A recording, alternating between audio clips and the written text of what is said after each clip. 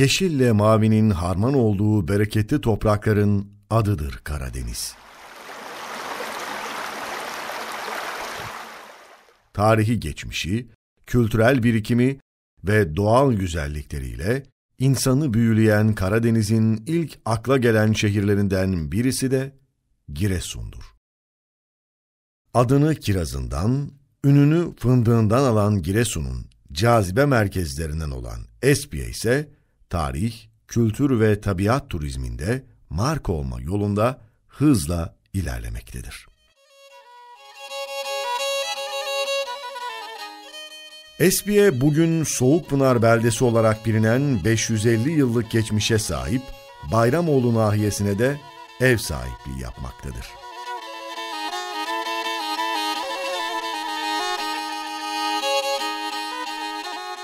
Espiye ilçesi ve tarihi Soğukpınar beldesi, Karaovacık Yaylası, Kızılkaya madenleri, Karadoğa ormanları, Ahılbaba Dağı gibi doğal güzellikleriyle tabiat aşığı gezginlere dört mevsim farklı manzaralar sunar. Espiye'yi tanıtmaya Soğukpınar beldesinden başlıyoruz. Belgesel tadında Soğukpınar beldesine tarih ve kültür yolculuğumuz başlıyor. Espiye'den Soğukpınar beldesine doğru ilerliyoruz. Bizi nazlı nazlı akan Gelevera deresinin seyrine doyulmayacak manzarası boyunca virajlı yollar karşılıyor. Yemyeşil ormanlarla kusursuz bir ahenk oluşturan manzara insana huzur veriyor. Yeşilin tüm tonlarına hakim olan Soğukpınar, dağları, ormanları, dereleri ve fındık bahçeleriyle cennetten bir köşe adeta. Pangal Şelalesi, Sarı Kız Kirazlığı, Temtem Gölü, Han Çayırı, Şahin Kayası ve Kızılkaya Madeni, beldenin keşfedilmeyi bekleyen güzelliklerinden sadece birkaçı. Özellikle Kızılkaya Madeni, büyüleyici gün batımı manzarasıyla ziyaretçilerine unutamayacakları bir deneyim yaşatır.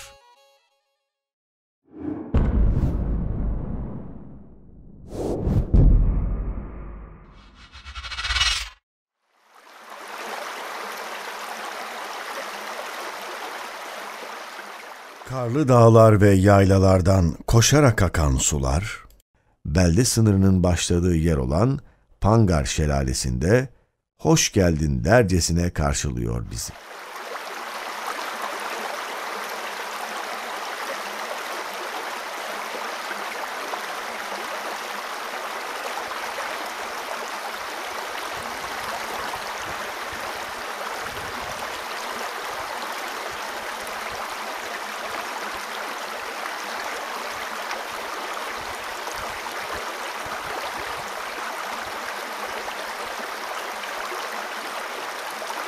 Allah dostlarından Pangal Derviş dedenin kurduğu bölge ve bu şelalede o zatın adına izafeten vefa borcu olarak ödenmiş. Sizleri Pangal Şelalesi'nden Soğukpınar Beldesi'nin sınır çizgisinden Soğukpınar Beldesi'ne götürüyoruz.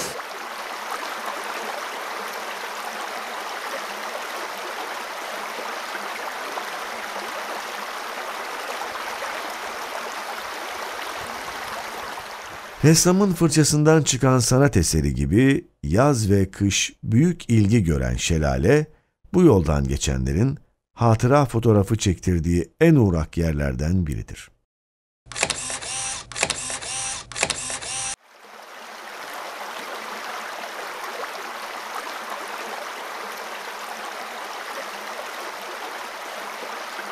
Soğukpınar gezimize Tuygu Mahallesi'nden başlıyoruz. 1998 yılına kadar Dikmen köyüne bağlı bir mahalle olan Tuygun, belde belediyesi kurulduktan sonra Soğukpınar'a bağlı bir mahalle haline gelir. Espiye'nin en eski köylerinden birisi olan Seydi köyünden gelen aileler tarafından kurulan Tuygun'dan, köylerin ve vadilerin doyumsuz manzarasını seyretmenin keyfi bir başkadır.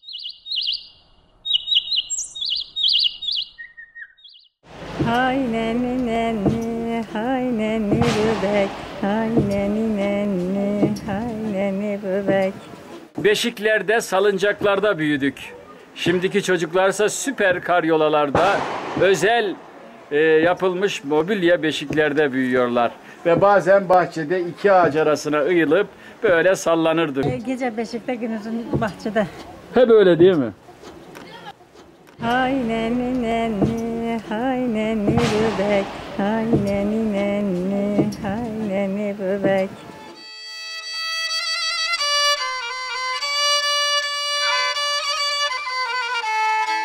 Buradan neredensiniz? Buradan da duygundanız.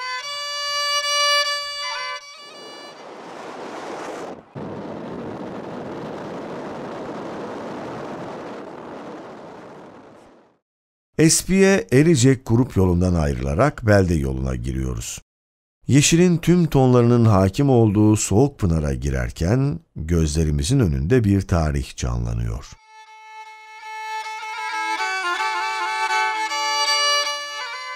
Dere içindeki göller, Soğuk Pınarların gönlünde çok farklı bir yere sahiptir. Bayramlar ve tatil günlerinde en uğrak yerlerden biri olan mantarlık altındaki Temtem Gölü, çocukların ilk yüzmeyi öğrendiği ve daha derin göllere, denizlere girecek cesarete sahip olmayı öğrendiği yerdir. Yol yapımı sırasında dolan göl yine eski haline geldi.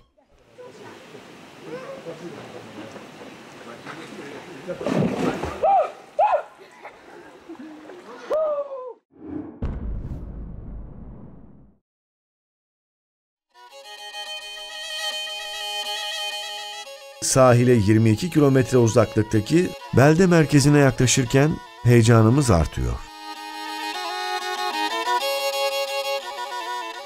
Soğukpınar'a günübirlik gidip gelenler her gün aynı duyguyu yaşarken, gurbetten gelenlerse vatanına kavuşmanın sevinç ve mutluluğunu yaşamakta.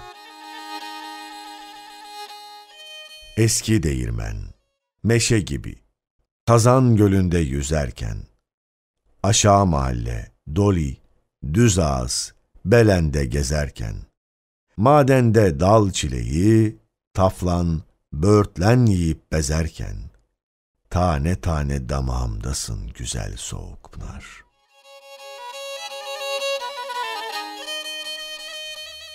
Doğu Karadeniz bölgesinin coğrafi özelliklerini taşıyan engebeli arazi yapısına sahip beldenin doğusunda güzel yurt, batısında Şahin Yuva, güneyinde Olucak Dağı, kuzeyinde Taflancık köyleri bulunmaktadır. Soğukpınar beldesi 550 yıllık geçmişiyle önemli bir yerleşim yeridir. Osmanlı arşiv belgeleri bölgenin Döğer Türkleri tarafından kurulduğunu göstermektedir. Fatih Sultan Mehmet döneminde Osmanlı Devleti tarafından tutulan 1468 tarihli Tapu Tahrir defterindeki yazılı bilgilere göre Trabzon vilayeti Torul kazasına bağlı 7 nahiyeden biriydi. 15. yüzyılda çevredeki birçok köy Bayramoğlu nahiyesine bağlıydı. Bölgeyle ilgili tarihi araştırmalar yapan Profesör Doktor Faruk Sümer, Çepni Türklerinin fethiyle Giresun'un Türk İslam medeniyetiyle asırlar önce şereflendiğini yazmaktadır. Bölgede Hacı Emir ve Bayramlı devletleri kurulur. Trabzon, Pontos devletinden bile 69 yıl vergi alırlar. Çepni Türkleri, Fatih'in Trabzon'un fethine büyük katkı sağlarlar.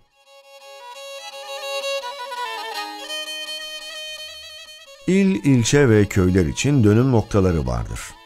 1998 yılı Dikmen ve Kos köylüleri için milattır. Soğukpınar beldemiz e, 1998 yılında e, Bakanlar Kurulu kararı ile resmen e, belde oldu. 20 Ağustos 1998 tarihi ve 98 Taksim 49560 sayılı kararla Dikmen ve Kosköy'ün birleşmesiyle belde belediyesi kurulur ve Soğukpınar adını alır.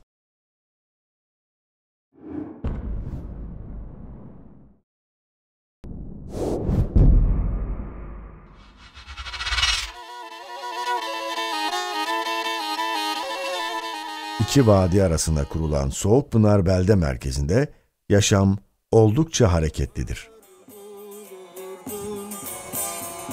Sürtünüm tenine, anlar dururdun. Madem ayrılıkta seni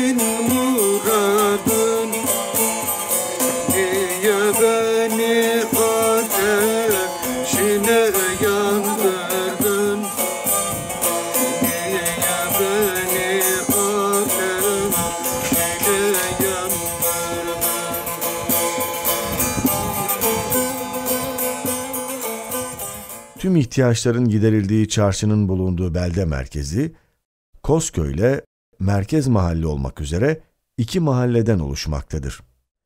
Belde nüfusunun büyük bir bölümü burada yaşamaktadır.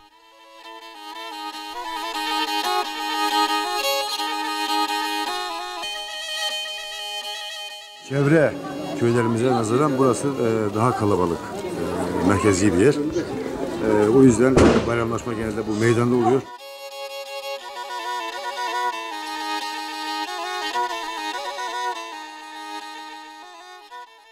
Yaşlılara evlerde ziyaret ediyor, bayramlıyor. Gençleri belen, belen dediğimiz yer var. Burada gezip görüyorum. Civar köylere göre belde merkezi gurbete daha az göç vermiştir. Bağında ve bahçesinde çalışarak geçimini sağlayan belde halkının büyük bir bölümünün sanatkar olması gurbete göçü önlemiştir.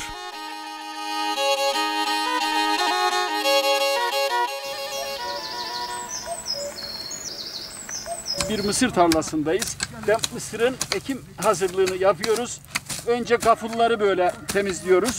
Ardından burası sürülecek. Mısır taneleri atılacak. Şimdi hazırlığını yapıyor, faldırını temizliyor. Motor gelecek, ekecik. Otları temizliyoruz. Şu yeşil otları temizliyor. Ondan sonra kemresini atacak. Gübresini atacak. Ondan sonra ekecik. Darı, mısır, pol, patatesler, pancar, höngül, fasulye yapacak.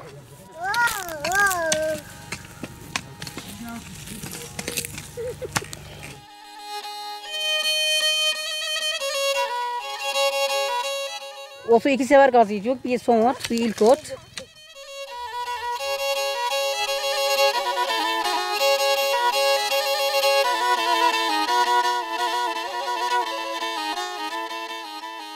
Ondan sonra mısır olacak. Darısını kıracak.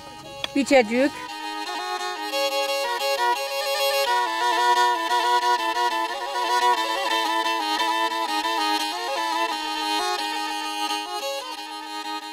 Mısırdan fırın darısı yaparsın, poğul yaparsın, müdür ekmek yaparsın. Anam beni vay beni aldı gitti tay beni. Doğdum da ne gün gördüm doğmamışa say beni.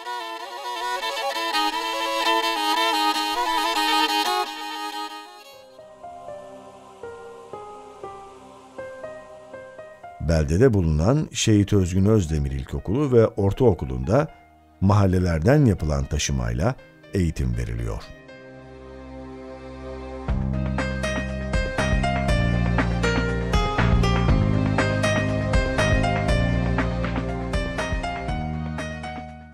Bir aile hekimliği merkezinin bulunduğu Soğukpınar'da merkez, Düzağız ve Yağcı olmak üzere 3 adet cami bulunmaktadır.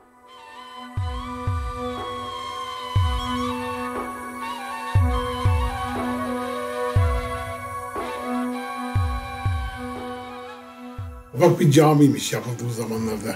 Tek kat, üstü hartamayla örtülü. Soğukpınar e, beldesinin adı Osmanlı tarihinin kaynaklarında, arşiv belgelerinde Koz olarak geçer. Yani e, bugünkü tabirle Koz köyü. Aslında e, bu Koz orijinal haliyle eski Türkçedeki Oğuzca'daki kuz e, kelime kökeninden gelir. Kuz Türklerde e, kuzey, ır derler eski Türkçede.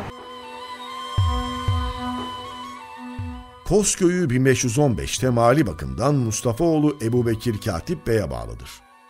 Bu tarihte köyde 14 çiftçihane, bir değirmen, bir cami ve bir de ortak tarla tespit edilmiştir.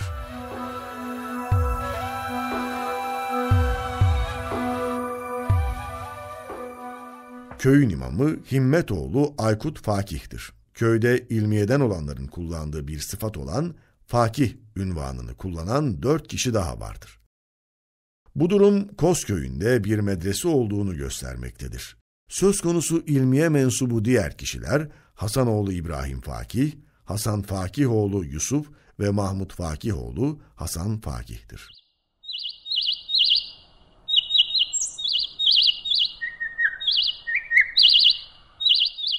Bugün e, yüksek oranda yani e, %70, %80 oranında eski nüfus kayıtlarına dayanarak bunu söylüyoruz ki e, Soğukpınar'da Çeplilerin, Çepli Türklerin hakimiyeti çok büyüktür. Yani Çepliler yoğun olarak burada yaşamaktadırlar. Davut yine Kara Mahmut'ta gelmiş Kosköy'e. İki hala. Pay etmişler Kosköy'ünü aşağı. Davut'u güney tarafını almış. Kara Mahmut'u kuzey tarafını almış.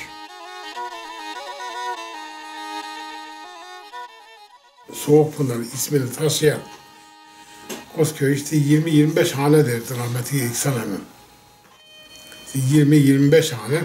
Sonra 27 haneye geçince muhtarlık olmuş burası.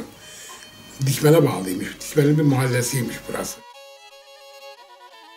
Kim çalışıyor? Yukarı ağacı. Sağının Davutlar işte. Aşağı mahallede dört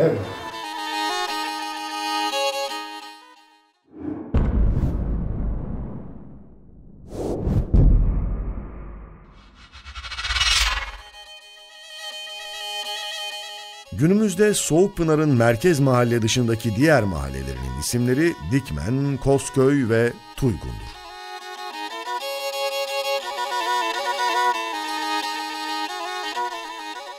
Beldenin tarihi geçmişi en eski yerleşim yeri Dikmen Mahallesi'dir.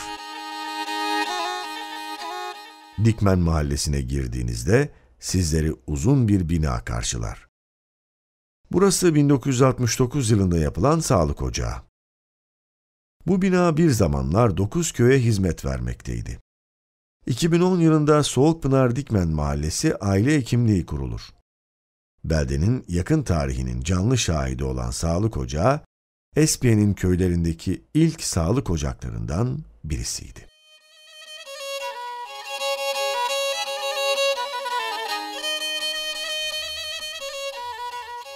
İlk dikmene gelen Köleman oğlanmış. Dikmene bahçede diken de Köleman oğlanmış.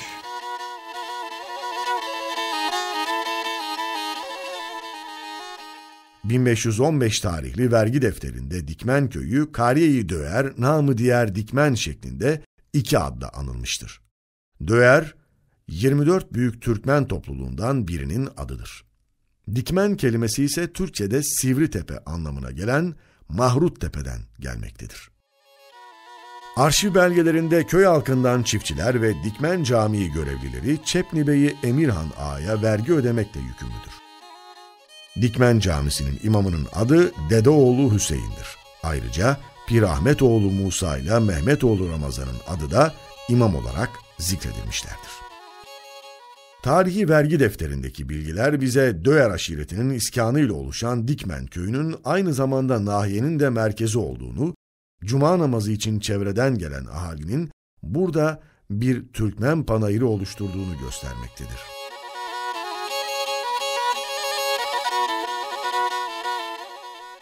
Bu tarihlerde Bayramoğulları Beyliği'nin bir nahiyesi olan bugünkü Soğukpınar beldesinde Rum veya Ermeni nüfusa rastlanmıyordu. Rumların Kızılkaya madeninde çalışmak için bölgeye gelişleri 1855 yılında Kırım'da yapılan savaştan sonra olmuştur. Bugünkü Dikmen adını taşıyan eski Döğer köyünün ki Osmanlı kayıtlarında da böyle geçer, Döğer diye geçer. Burada e, eski bir e, Türk boyu var, Oğuz boyu, Döğer boyu. Yani Dikmenlilerin Çepni olmadığını, Döğer Türklerinden olduğunu ancak Oğuzların Çepni boyu gibi bir Türkmen boyu olduğunu burada ifade etmek lazımdır. Soğukpınar'ın tarihini yansıtan en önemli eserlerden birisi Dikmen Merkez Camisi'dir. Beş ayrı yapılış tarihi olan Dikmen Camii'nin bilinen ilk tarihi 1890'dır. Tarihi Dikmen Camii'nin yapılışı ile ilgili birçok efsane anlatılır. Bugün bile Türkiye'nin birçok yerinden dua etmek için gelinen cami, rivayetlere göre sabah ustalar çalışmaya gittiğinde malzemelerin yerinde olmadığını görünce araştırma yapılır ve malzemeler bugünkü Dikmen Camii'nin olduğu yerde bulunur. Aynı olayın birkaç kez tekrar etmesi üzerine o dönemin müftüsüne danışılır. Müftü, caminin malzemelerin geldiği yere yapılmasını isteyince cami buraya yapılır. 1994 yılına kadar ahşap binada hizmet veren ahşap cami yıkılarak köy halkının yardımıyla betonarme olarak yapılır.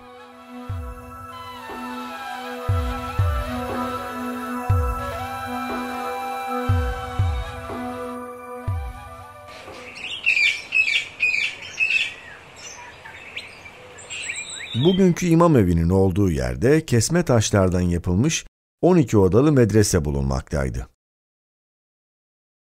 Uzun yıllar birçok din aliminin yetiştiği medrese zamanla yıkılmış. Cumhuriyet'in ilk yıllarında buraya ilköğretim okulu açıldığı söylenmekte. Osmanlı döneminde burada müderrisler yetiştiren 12 gözlü medrese olduğu ve medresenin daha sonra söküldüğünü, dağıtıldığını ve küçücük bir bina yapıldığını biliyoruz.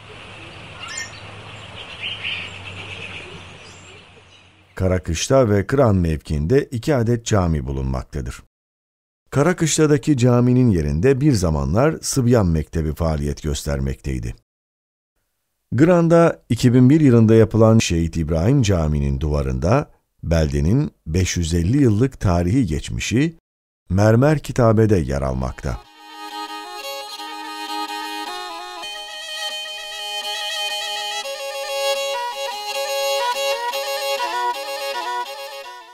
Dikmen'in canlı şahitlerinden birisi de bugün kullanılmayan ilkokuldur.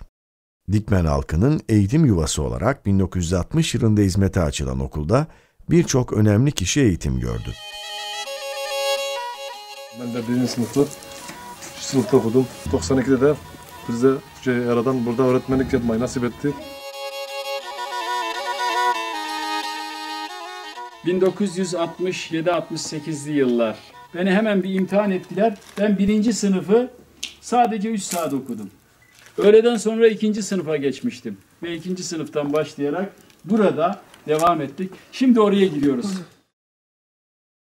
Böyle sabah gelirdik, soba şurada yanardı. Tabii öğle yemeğine falan gidemezdik. Evle buranın arası tam 40 dakikaydı yaya. Çamur, yağmur.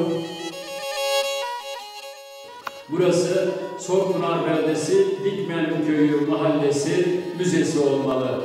Ve burada yaşayan insanların fotoğrafları, okuyanların fotoğrafları burada sergilenmeli. Zira burası bir şehit adına, Özgür Özdemir şehidinin adına yapılan bir yer.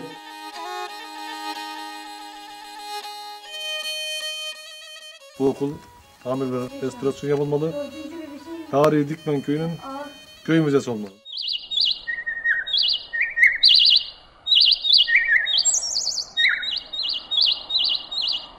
Çubuğunu e, çangalını keser gelirsin, kopartırsın. Ondan sonra e, yonarsın tekrar.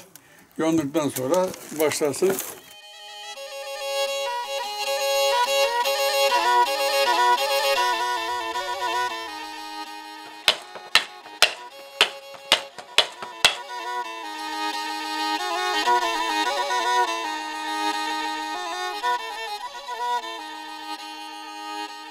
Soğukpınar'ın Dikmen mahallesindeki en önemli yerlerinden birisi de Karakışla'dır. Askerlerin kaldığı yer olarak bilinen Karakışla'nın karşısında kale bulunmaktadır.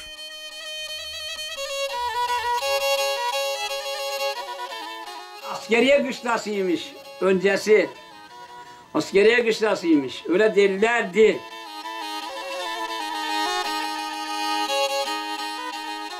Gran mevkiinde göl yanı, Kaygancuk ve Han yanı bölgenin tarihi geçmişini yansıtmakta.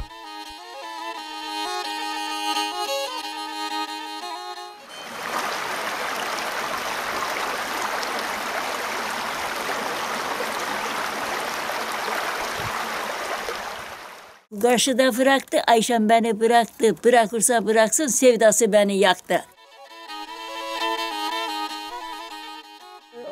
Avcı vurmuş da yavrum aman aman biri yaralı.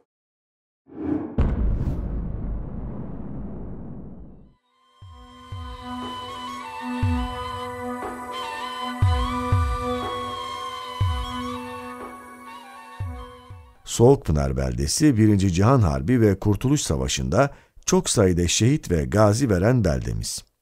Sarıkamış savaşlarında esir düşüp Sibirya'da 10 sene esir kalan Şerefoğlu Mustafa Şahar'ın kızları belgeselimize önemli açıklamalar yaptılar. İstanbul'dan geldik. Öyle mi? Her yıl gelir misiniz bu mezarlık? Kim var mı mezarlıkta? Anamız, babamız, emimiz, dayımız.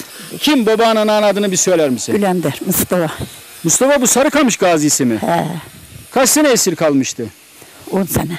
E, gelmiş işte, kaçmış gelmiş 10 sene. Esira esirden öyle mi? He. Tavlacığa. Oraya geldiği gibi işte başlamışlar silah atmaya. Hakır hakır atarka. Şeyden sormuşlar beri geçeden Yaki Mahalle'den. Ora orada ne var da bu haline gavur mu geldi oraya demişler. Oradan demişler ki Yesir'dekiler geldi. Yesir'dekiler demiş. Bu yani bizim tarafa haber vermişler. Hep beraberce gece gitmişler almaya. Soğukpınar Belde Belediye Başkanı Özcan Özdemir'in kardeşi olan Şehit Özgün Özdemir, 1992 yılının Eylül ayında Hakkari'nin Şemdinli ilçesinde batani görevini yaparken terör örgütü PKK ile girdiği silahlı çatışmada şehit olmuş. Mezarı Dikmen Mezarlığı'nda bulunmaktadır. Birinci Dünya Harbi'nde Karadeniz bölgesinden muhacir olarak Dikmen ve Kosköy'e gelen birçok insan buralarda ölmüş. Beldenin birçok yerinde muhacir mezarlıkları bulunmakta.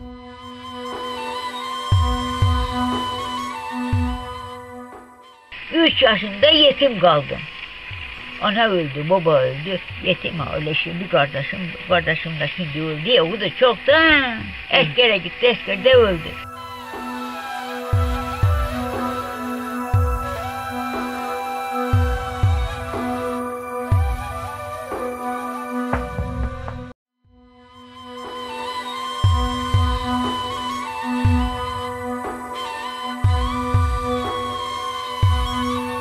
Bismillahirrahmanirrahim. Yasin vel Kur'anul Hakim. İnneke leminel mürselin ala sıradın müstakim. Tenzilel azizir rahim. Li tunzira kavmen ma üzra ben fehum gafilun.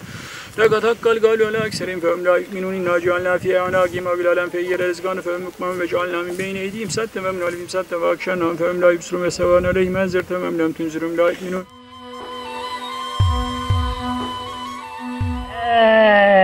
İlahe illallah Muhammed ya Resulallah Allahümme salli ala Muhammed ve ala ali Muhammed. Komşularımızın, arkadaşlarımızın. Allah.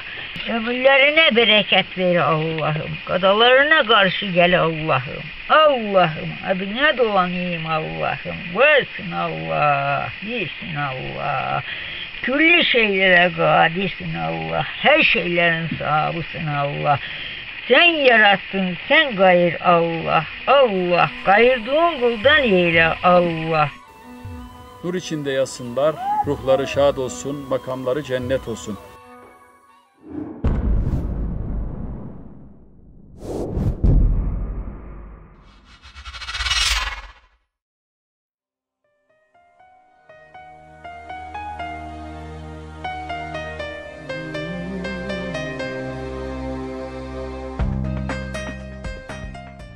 ...1998 yılında kurulan Soğukpınar Belde Belediyesi... ...eski okul binasında hizmet vermektedir.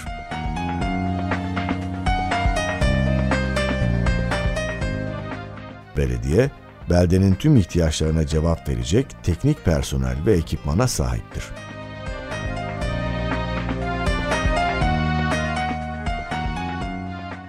Dikmen ve Kosköy'ün birleşmesiyle 17 yıl önce belediye olan Soğukpınar bu sayede hizmetle tanışmış ve iki köyün kaderi belediyelik olduktan sonra değişmeye başlamıştır.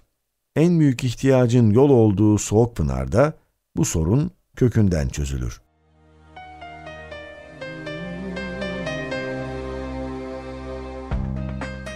Göreve geldiğimizde e, biliyorsunuz eskiden itibaren yolumuz e, karayolları ağında değildi. E, yaptığımız işlerle sonunda, yazışmalar sonunda 2009 e, 21 Aralık itibariyle e, Bakanlar Kurulu imzasından çıktı ve resmen e, yolumuz karayolları ağına bağlanmış oldu.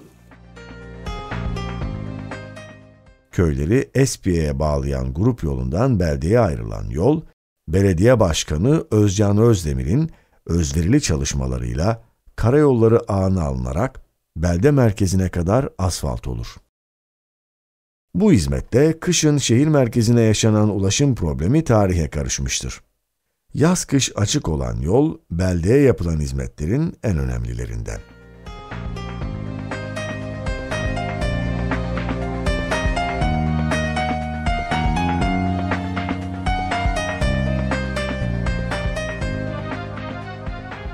Arayollarında genişlediği Soğukpınar'a bazı yerlere de beton dökülerek ulaşım sorununda çok büyük mesafeler kat edilmiştir. Beldemizin içerisinde yaklaşık e, 14 kilometre uzunluğunda beton yol attık. Yaklaşık 7 kilometre uzunluğunda da e, beldemizin içerisinde yine e, asfalt, sıcak asfalt kaplama işini bitirdik. Arazi e, yolları, vatandaşlarımızın e, fındık bahçelerinde e, sürekli arkasında yük taşımak zorunda olduğu yerlerin e, en aza indirgemeye çalıştık. Başkan Özcan Özdemir'le hızla gelişen, değişen ve sorunları bir bir çözülen Soğukpınar'ın en büyük problemlerinden bir tanesi de su sorunuydu. Başkan Özdemir, gecesini gündüzüne katarak, sorunun tarihe karışması için yaptığı çalışmalar neticesinde, beldeye 3 milyon liralık içme suyu projesi yapılır. Yıllardır beldemizin, insanın, insanımızın beklemiş olduğu suya kavuşmanın mutluluğu içerisindeyiz. Beldemiz ve çevresindeki insanlara hayırlara vesile. Beldemiz ve çevresindeki insanlara hayırlı sağlık, sıhhat ve kullanmayı nasip müessere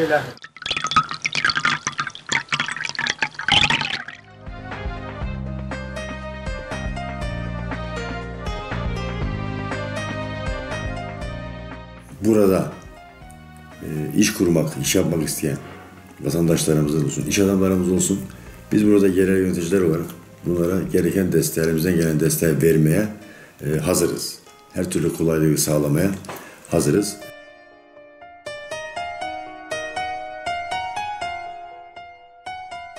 Belde olmanın ve hizmetle tanışmanın en güzel avantajlarını yaşayan Soğukpınarlılar, şehrin gürültüsünden uzak, doğayla baş başa bir yaşam sürdürmenin keyfini çıkartıyor.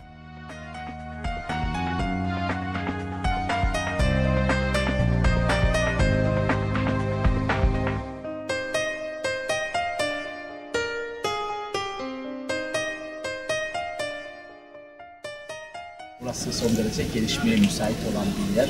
Ee, gerçekten yeşilin her göz tonu burada hakim. Burada insanlar ihtiyarlamaz. Burada insanlar ancak sağlık ve afiyet bulur. İkram edilen e, ben o yiyeceklerden de durum değerlendirildiğinde burada ömür uzun devam eder.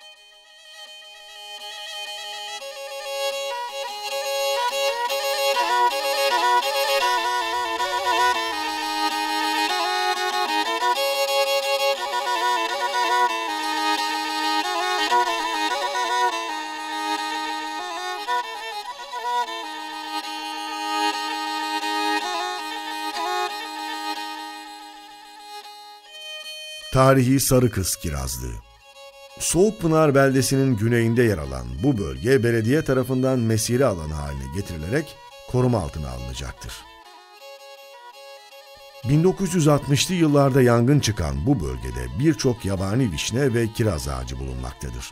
Beldenin içinden geçen İpek yolu tahrip edilmiş olsa da han yıkıntıları ve taş döşeme yolları bölgenin tarihi geçmişini yansıtmaktadır.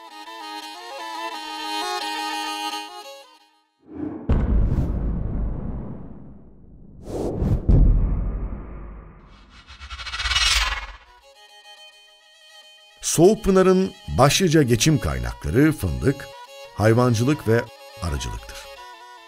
Bunların dışında inşaat sektöründeki teknik iş gücü de Soğukpınar'ın geçim kaynakları arasında önemli bir yer tutmaktadır.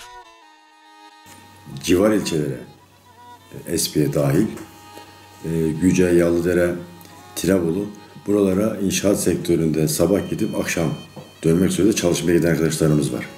Yöremizde, bölgemizde diyebilirim ki en az göç veren Soğukpınar beldesidir. Soğukpınar'dan gurbete ilk göç 1960'lı yıllarda başlamıştır. İstanbul'un Zeytinburnu, Pendik ilçeleri, Kocaeli'nin Gebze, Çayırova ilçeleri ve Bursa'nın Emek Mahallesi'ne çok sayıda göç olmuştur. Bulundukları bölgelerde dernekler kurarak gelenek ve göreneklerini yaşatmaya çalışan Soğukpınarlılar her yıl memleketlerine giderek hasret giderirler. Fındık toplama vakti geldiğinde gurbettekilerin de gelmesiyle bahçeler şenlenir.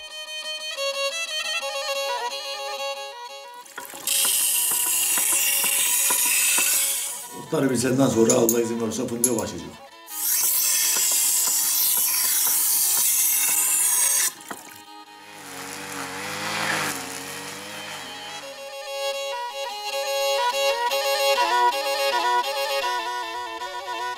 Tüm Giresunlular gibi Soğukpınarlılar için de fındık hayat demektir.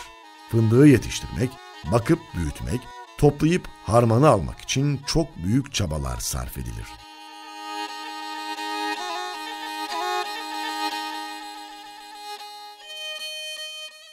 Tatlı bir telaş başlar. İmece usulüyle toplanan fındık modern makinalarla harmanlanıp kurutulur.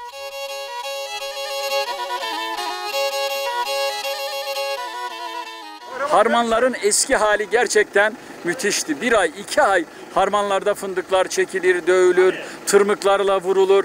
Hatta daha sonra el kuvvetiyle çekildi. Sonra da böyle patozlarla harmanlar, fındık harmanları çok kolay olmaya başladı.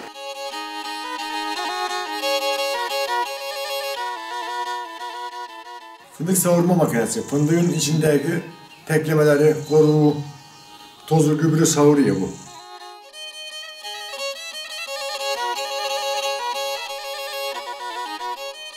Türkülere, manilere konu olan fındık, bölgenin en önemli geçim kaynağıdır. Bir dünya markası olan Giresun fındığının tüm çeşitleri Soğukpınar beldesinde yetişir.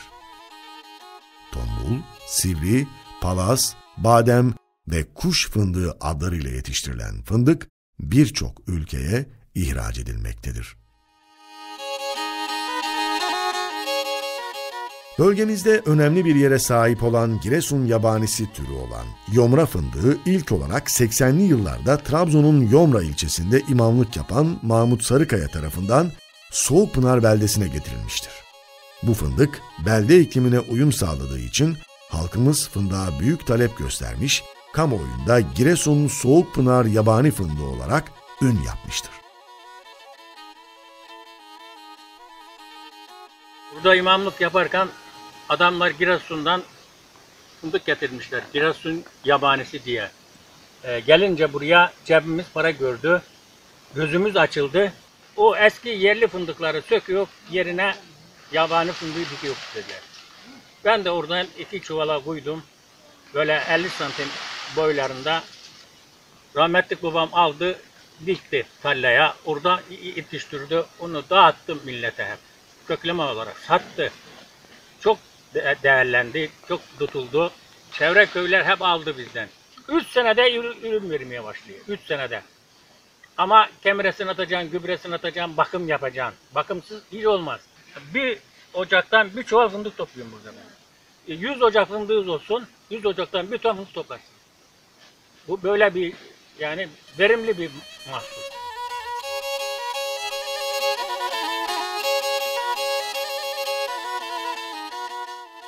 Her sene garantisi var. 15 gün geç açması, ondan etkilenmemesi. Onda 8 garantisi var. Rakım 900 bine kadar olabiliyor. Yağlı fındıklarımız küf hastalığı vurdu, etkilendi. Bu küften de etkilenmez. Sadece 1 lira noksan piyasada. Don olaylarına karşı dayanıklı olması, kök yapısının çabuk büyümesi, dikiminden kısa süre sonra ürün vermesi ve yıllık randımanın yüksek olması Soğukpınar fındığına olan ilgiyi arttırmıştır. Bu soğuk pınara özgü bir fındık, bir bir fındık bu. Bu yağlı fındık, normal fındık değil de e, yağlı fındık biraz daha geç olan bir fındık. 250-310 civarında beldemizde yetişiyor fındık. Belde ekonomisine çok önemli katkı sağlıyor. Verim yüksek yüksek yüksek 1 Ocak'tan 15 kiloya kadar aldım. Giresun İl Araştırma Mühendislerinden daha sonra çok gidip geldiler yanıma. Sordum. Dünyanın hiç böyle bir verimli fındık var mı? Şu anda bunun üzerinde yok dediler. Bu fındık buraya şimdi Yomra'dan mı geldi? Yomra'dan geldi. Ee, Yomra'ya nereden gelmiş? Giresun'dan gitmiş. Giresun yabanisi olarak. Bunun fidanını ihraç ediyoruz çevrelere. Amerikan şirketi Bafra'ya dikti 300 dönüm. Gürcistan'a dikmişler dünya kadar fındık bundan. O kadar fidan verdik ki hesapsız fidan verdik.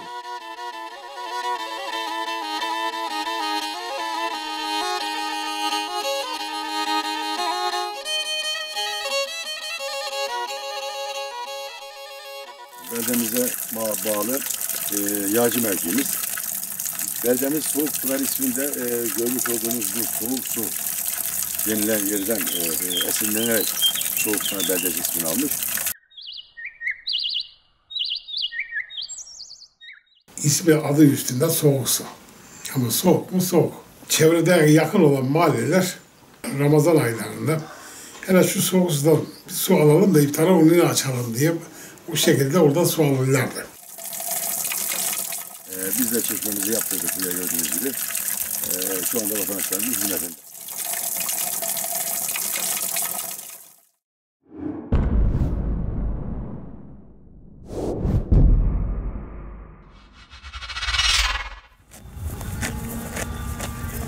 Beldede büyükbaş hayvancılık oldukça yaygın bir şekilde yapılmaktadır.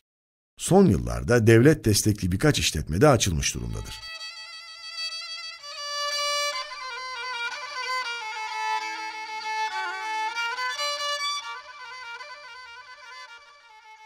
Vatandaşların evlerde ürettiği süt ürünleri bölgede fazlasıyla talep görmektedir.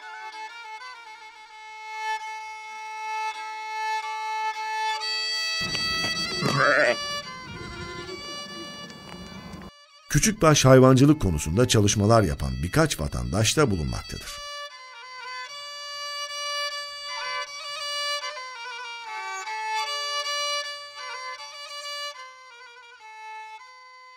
Soğukpınar beldesi, camış olarak da adlandırılan yöreye özgü manda türleriyle haklı bir üne sahiptir.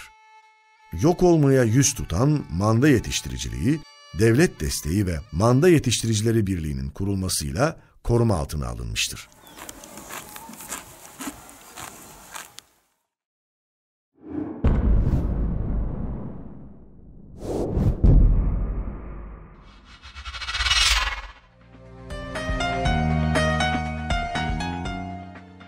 Birçok tıbbi ve aromatik bitki ve ağaca ev sahipliği yapan beldemiz arıcılık konusunda tarihi bir geçmişe sahiptir.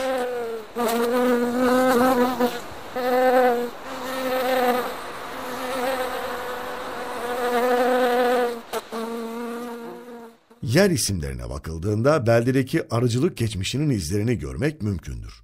Arı Kayası, Arı Taşı, Çardak Yanı, Çardak Yeri gibi yerler bu geçmişi gözler önüne sermektedir.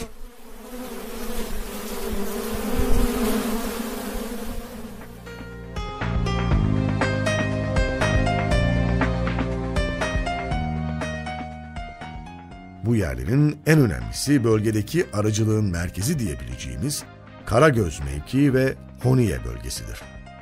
Honiye ismi İngilizce bal anlamına gelen honey kelimesinden gelmektedir.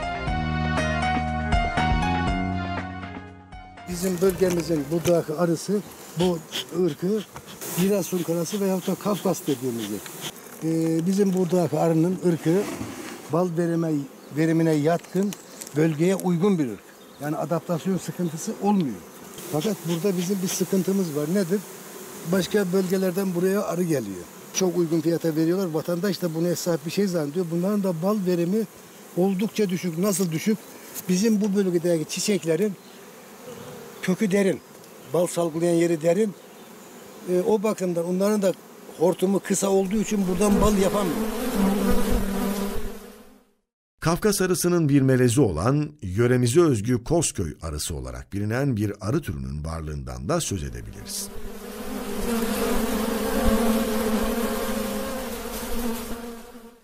Kestane balı, orman gülü, böğürtlen, çalı çile.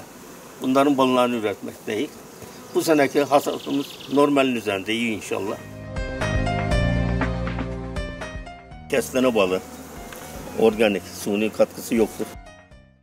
Bunda hiçbir hiçbir yapay dalak yok. Doğal. Göründüğü gibi. Ee, bunu arı kendisi yapıyor. Her şeyini kendisi yapıyor. Biz buna kara kuan balı diyoruz. İşlem fazla gerekiyor. Bir kilo mum yapana kadar arı 20 kilo bal yapıyor. Suni mum olan çerçevelerimiz. Bu ballar soğuk pınar balı olarak büyük talep görmektedir.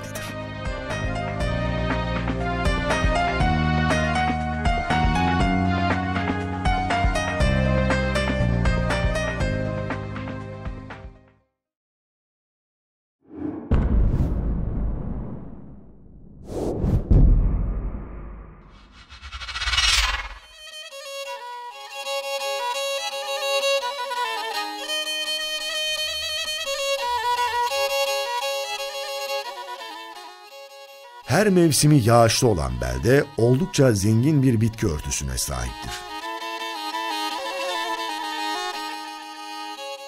Dağlarında taflan yemişi, yaban mersini, kestane, çalı çileği ve ayı üzümü bolca bulunmaktadır.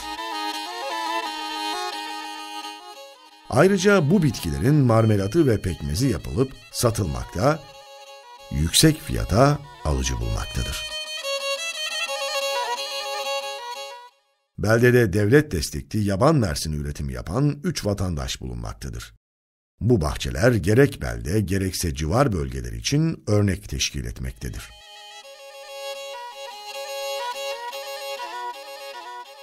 Beş on sene önce televizyondan Rize'de bir belgeselde izledim. Mavi yemiş. Başvurdum ilçe tarıma. Ben kendi imkanlarımla bulamadım. Devlet destekli aldım ben bunu. Verimleri çok yüksek bunların. Dondan, kıştan, etkiden, kuraktan etkilenmeyen bir şey.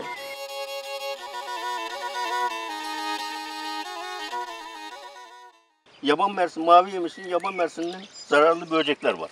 Sirke sineği diye bir sinek varmış. Bu yemişleri deliyorlar. Şuradan beşlik çivilerle deliyoruz. İçerine elmas sirkesi koyuyor. Şu arazideki zararlı sinekler gelip buradan sirkenin İçeri- kokusunu içeri giriyorlar, kendi imha ediyorlar. Burada da görünüyorlar. Ha, içinde. Dolu.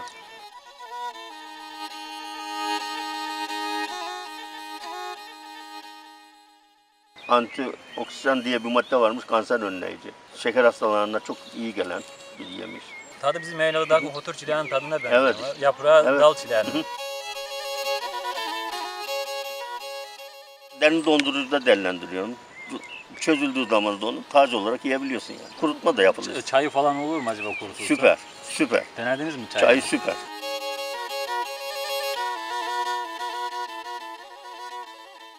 Bölgede yetişen kantaron, kekik, anason, nane, yarpuz, aslan pençesi gibi tıbbi bitkiler dışında Soğukpınar'da birçok aromatik ve endemik bitki türüne rastlamak mümkündür. Bunlardan bazıları vargit çiçeği, kardelen, zambak, orman gülü, yabani sıklamen, süsen, altın başak otu, salep, dağ sümbülü, çuha çiçeği ve karga soğanıdır.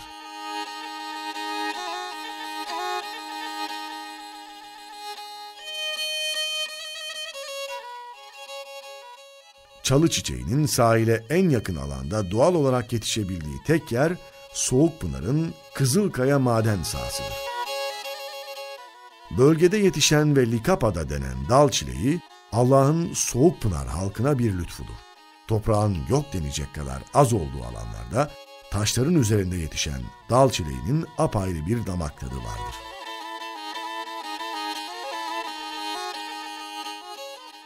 Elimizdeki bu gördüğünüz siyah siyah yemişler yaban mersini olarak bilinmekte. Hatta e, Latince başka adları var. Bunları toplayıp getirdiniz. Nedir bunun adı? Dal çileği. Dal çileği. Bundan çok olur mu? Evet. Köylerde, yaylalarda çok Evet, mu? Ne evet. yaparsınız bunu siz? Leçer yapıyoruz. Birçok hastalığın şifası olarak bilinen ve yurt dışında kilosu dolarla satılan dal çileği kurutularak, reçel ya da marmelat yapılarak ekonomiye kazandırılmaktadır. Soğukpınar beldesinde yaban hayatı da oldukça zengindir. Hem köy hem de yaylalarda birçok yırtıcı hayvan ve kuş türü bulunmaktadır.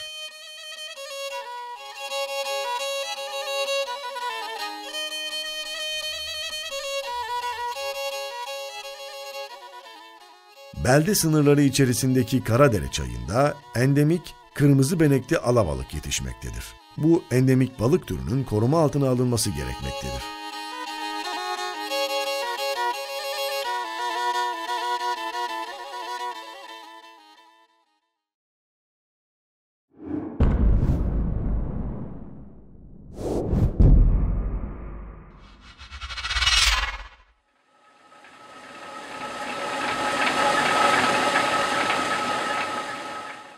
Beldemizdeki derelerde tesbih tanesi gibi dizilen geçmişin nazlı yadigarı su değirmenleri, hayırsever insanlarımız tarafından yapılarak insanlığın hizmetine tahsis edilmiştir.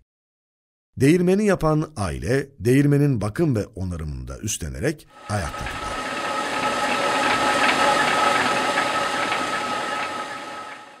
Gandaz kızı Fadime Hala Değirmeni. Bu değirmenin yapıldığı dönemi dün gibi hatırlıyorum. 4 yaşında çocuktum. Değirmenin taşı Yaldere'den, Dalıp'tan gelmişti. Sayıları 20 civarında olan ve her sülalenin kendi adına hayır için yaptırdığı değirmenlerin en eskisi Ulu Değirmendir. Merkez Mahallesi'nde 10, Dikmen Mahallesi'nde 7, Tuygun Mahallesi'nde bir tane su değirmeni vardır. Birinci Cihan Harbi'nde karargah merkezi olan değirmenlerde Espiye Arpacık köyündeki askerlerin ekmeklik mısır ve buğdayları öğütülmüştür. Beldenin tarihine ışık tutan bu değirmenler koruma altına alınmıştır. Ayrıca beldede 3 adet elektrikli değirmen mevcut. Mısır ekmeği yapmak için gidiyoruz oraya. Taş değirmenle. Bunu hayvanlar işte bu yiyeceğini buna çekiyor. Ceyranlı değirmen bu. Aynen su mısırı bütün yine atıyor yani kendisiyle beraber değirmesine. Un haline getiriyor böyle kırma haline getiriyor. Hayvanlar yiyor.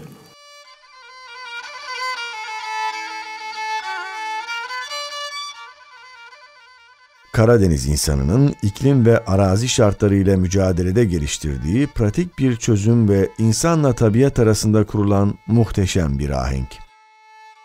İsmi bölge içinde farklılık gösterse de Giresun yöresinde mazı, ambar, şal pazarında tekir, birçok yerde serender, serenti, nayla gibi isimlerle anılsa da kullanımındaki temel amaç toprakla ilişkiyi kesmek suretiyle nemden korunmak, tahıl, gıda veya fındığı, fare ya da böcek gibi haşerattan korumaktır.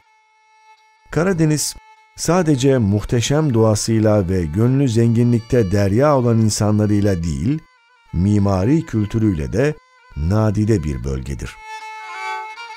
Geleneksel Karadeniz kültüründe ev ve müştemilatı üç yapıdan meydana geliyordu. Ev, serender ve merek. Serender, köylünün tahılını, yiyeceğini sakladığı, kuruttuğu ve altı kışlık odunun depoladığı yerdi. Yine çocuklar yağmurda, güneşte oyunlarını serenderin altında oynarlardı. Bir medeniyete medeniyet diyebilmek için mimarisine, kültürüne, sanatına, musikisine bakmak gerekiyor. Evet burası Gran mevkii. Burada yıllar önce bu tür evler vardı. Bu beldede sadece bu ev kaldı. Toprak damlı. Buraların ifadesiyle köm evi.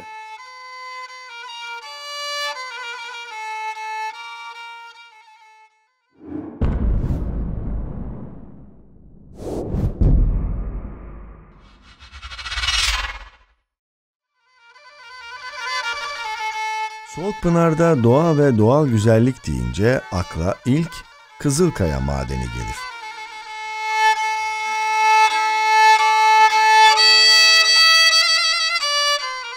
Amerika'nın Arizona vadisini aratmayacak özellik ve güzelliklere sahip Kızılkaya madeni, Cenevizler döneminde işletilmiştir. Son olarak 1970'li yıllarda Maden Teknik Arama tarafından kısa bir süre işletilen Kızılkaya madeninde Soğukpınar'dan birçok kişi çalışarak geçimini sağlamıştır.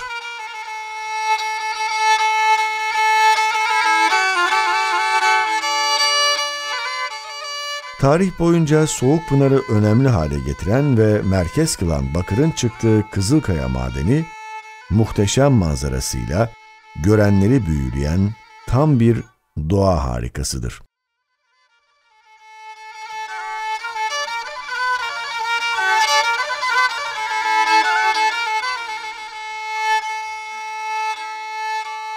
Kızılkaya madeninde yer alan Beşik Gölü, Şahin Kayası, Delikli Taş ve eski yeraltı yolları bölgedeki en sık ziyaret edilen yerler arasındadır.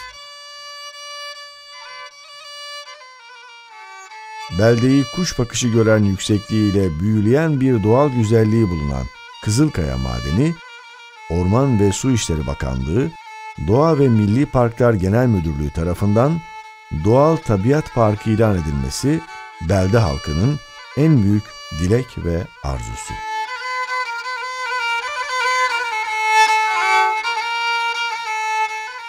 Beldemizin birçok güzelliği ise gün yüzüne çıkacağı günü beklemektedir. Bunlar arasında Han Çayırı, Sarıkaya Kayalığı, Kalakaya, Taflan Ören mevkiindeki kale kalıntısı gibi yerleri sayabiliriz.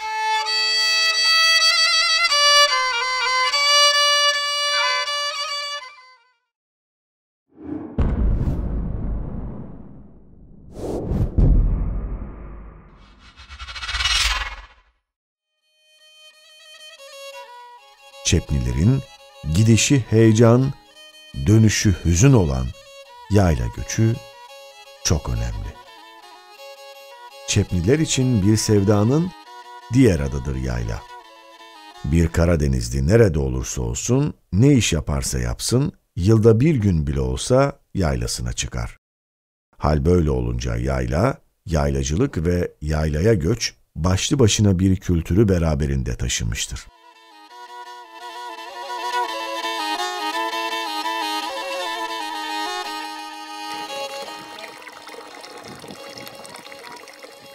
Karadeniz'de coğrafi mekan iki kelimeyle tanımlanır. Biri cenik, diğeri yayla.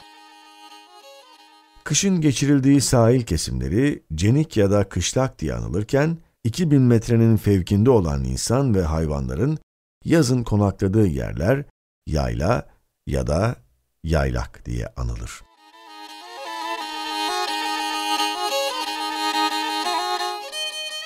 Yayla heyecanı insanlarda yaşlısıyla genciyle günler öncesinden başlar. Yol azıkları hazırlanır, katır ve atlara vurulacak yükler denklenir. Hayvanlar göçten önce bir hafta boyunca günlük geziye çıkarılır. Bu, hayvanın yolculuğa dayanabilmesi için bir nevi spordur. Büyükbaş hayvanlar adeta bir gelin gibi süslenirdi. Hayvanlarla gidilecekse göç saati sabah namazının ilk vaktidir. Hava henüz aydınlanmadığından çıra ya da farfar yakılır. Kadınlar keşanını başına sarar, sepeti sırtına alır ve yaylaya göç gidilirdi. Göçler başladı yaylalara. Çan, kelekli koyunlar, çobanlar işte bir yayla göçü. Bize yaylalara bu şekilde gitmeye çalışıyoruz.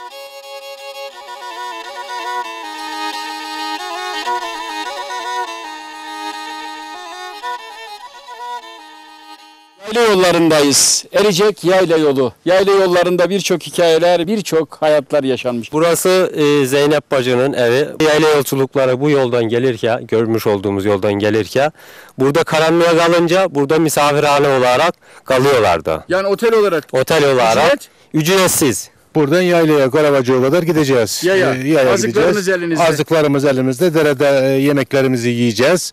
Ve oradan kalkıp devam edeceğiz.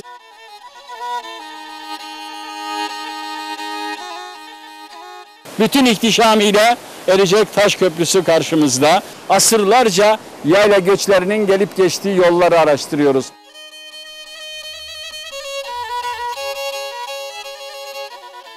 Bu köprüden geçerken bazı sıkışık halde olurdu. Kalabaydı koyun. 50-100 tane koyunlar. Bazıları düşerdi. Buraları bozulmuştu, yıkılmıştı. Yıkılmış bir haldeydi. Düşerdi derede de yazın çok su olurdu. Alır giderdi dere. Değerli izleyenlerimiz belki 300 yıllık, belki 500 yıllık. Nice köprüler gitti burada ama bu köprü dimdik ayakta. Maalesef defineciler taşlarını bazen çıkarmaya çalışıyorlar. Bu köprünün tescil edilerek koruma altına alınıp buraların turizme açılmasını bekliyoruz. Gerçekten o yayla kültürünü, yayla yolu kültürünü yaşamak için. Nice yayla göçleri Erecek Köprüsü'nü arşınlayarak yaylalara çıktı. İleri gitme yok. İleride çavuş var önümüzde. Biz e, hep beraber gidecek böyle peş peşe. İleri gelen de Ağdaş denilen yerde toplanırdı. Obaya hep beraber girerler.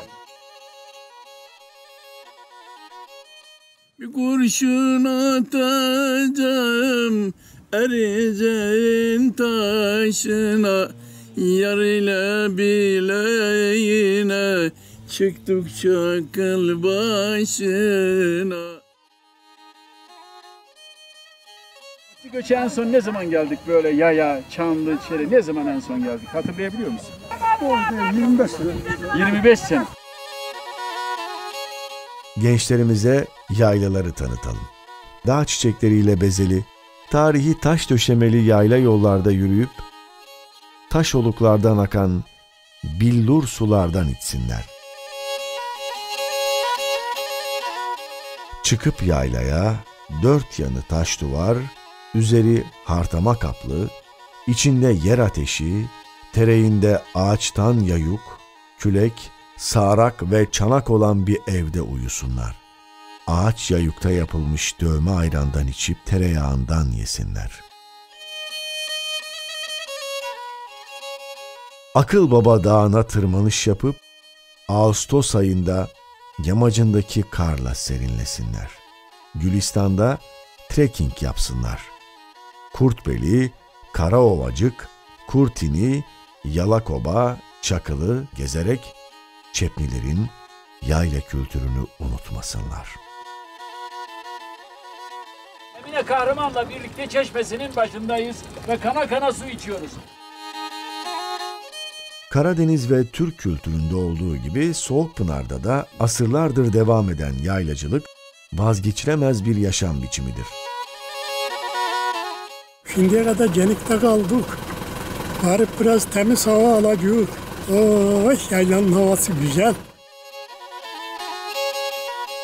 Belde halkının ilkbahardan çıktığı ve sonbahara kadar kaldığı yaylalar, gurbette yaşayan belde halkının da tatilini geçirdiği yerdir. Bizim olmazsa olmazlarımızdan e, yayla kültürümüz bizim asırlar boyu devam edip gelmekte. E bizim halkımızın şu anda yüzde seksenlik bölümü şu anda yaylada e, piknik yapıyor, ovalarında geziyor.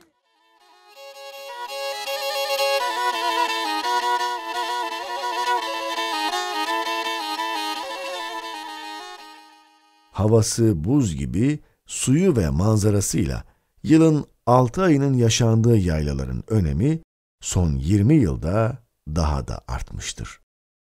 Yalakoba, Püllük, Çakıl obalarında ikamet eden Soğukpınarlar, bin yıllık otçu göçü geleneğini hala devam ettirmektedirler. Tarihimizin önemli kilometre taşı yaylalar, yaylalar, yaylalarımız ve Karavacık Yaylası. 700 yıllık gelenek, Türklerin Türkistan coğrafyasından getirdiği gelenek.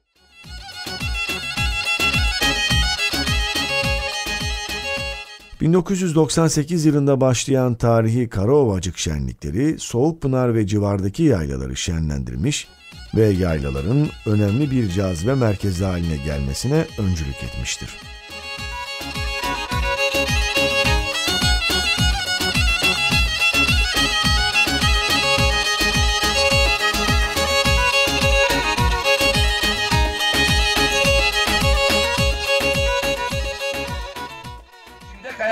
Farklı bir şey ve bizim kültürümüz. Eskiden bunu insanlar e, spor olarak değil artımayla yapıyorlardı ama artık bunu hem artımayla yaparak hem de yeni sportif aletlerle beraber bunu artık kültür haline getirmemiz lazım.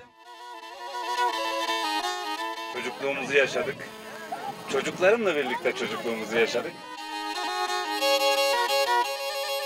Meleşir koyun kuzular Adını duyunca buzlar Erir de yüreğim sızlar.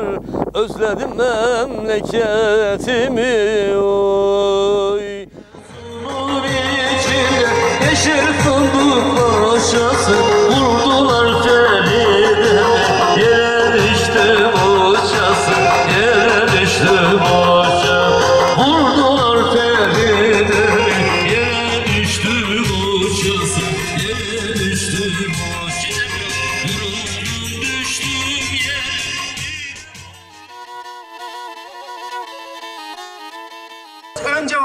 vatan yazıldı Soğukpınar'ın yaylası 2400-2600 metrelik yüksekliğe önce vatan Ahmet, Mehmet, Ayşe, Fatma yazılmadı. Sadece önce vatan yazıldı. İşte Türk ordu- ordusunun yenilmezliğini gösterecek tek cümle önce vatan.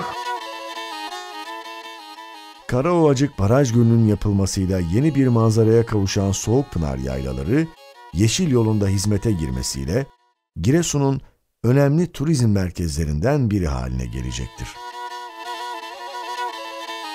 2600 kilometrelik bir yeşil yol. Bu yeşil yolun standardı 7 artı 1 ve e, konforlu bir yol ve turizm konusunda yarım tur otobüsü yan yana geçebileceği bir genişlikte bir yoldur. Zaranın üzümü dinle benim sözümü, dinlemezsen sözümü göremezsin yüzümü.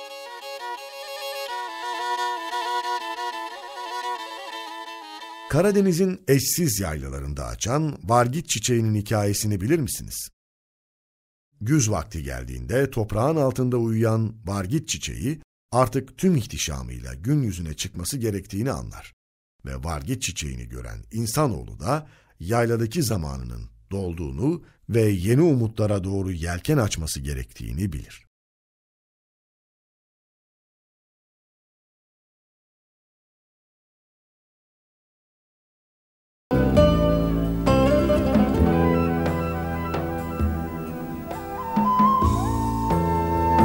Yol uzun, menzil ırak. Gurbet elde yaşayanlar sılaya hasret. Gençler Giresun sevdasıyla yanıp tutuşuyor. Yollar uzun, vuslat zor olsa da güzel Giresunumuz bizi bekliyor.